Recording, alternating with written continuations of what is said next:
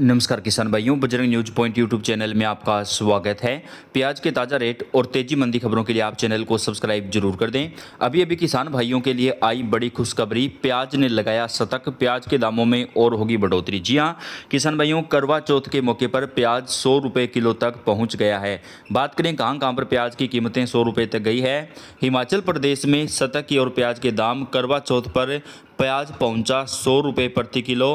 वहीं दोस्तों त्योहारी सीज़न में प्याज की कीमतों में लगातार तेज़ी देखने को मिल रही है। बात करें उत्तराखंड की तो उत्तराखंड की मंडियों में प्याज अस्सी रुपये किलो पहुँच चुका है, जबकि दिल्ली में प्याज पचासी रुपये प्रति किलो बिक रहा है।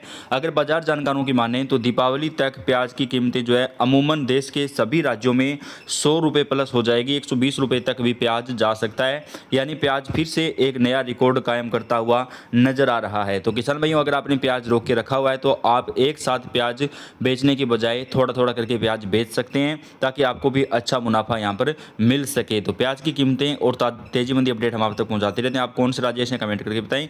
वीडियो को लाइक और शेयर आप ज़रूर कर दें। धन्यवाद।